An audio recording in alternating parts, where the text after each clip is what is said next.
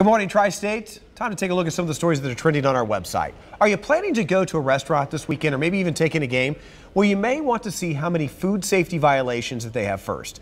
Nine on your side is the statewide numbers of some tri state places and where they rank in the number of violations when it comes to food. Now, we're breaking down the numbers, which show three of the top violators of sports venues in Cincinnati in the state of Ohio.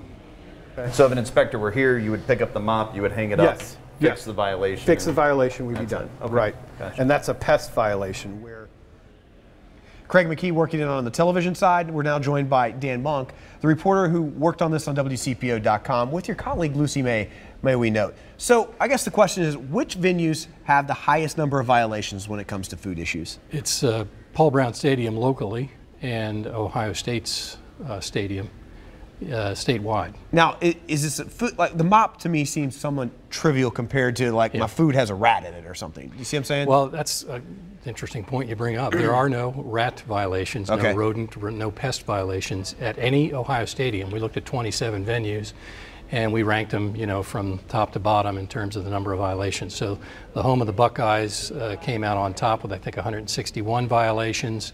And three of the top five were Cincinnati venues, Paul Brown Stadium, uh, Fifth Third uh, Arena at uh, UC, and Great American Ballpark.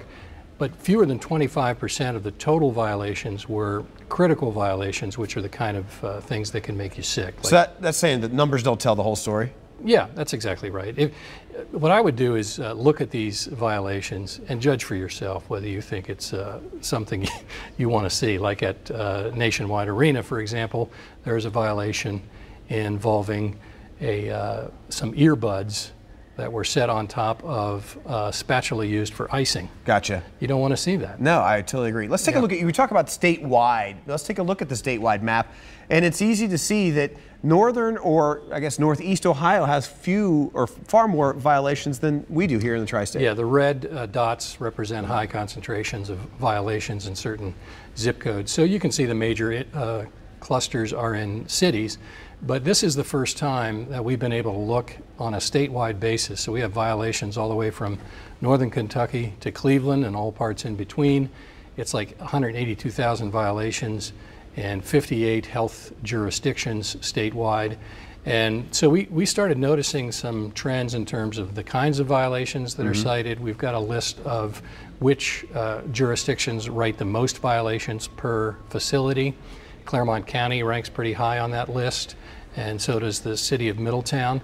Franklin County even higher. So you can go on our website and, and really start to explore uh, how restaurant violations vary from one part of the state to another. It is a wealth of information. The article is up and going right now on our website at WCPO.com. Dan, thanks. Thank you.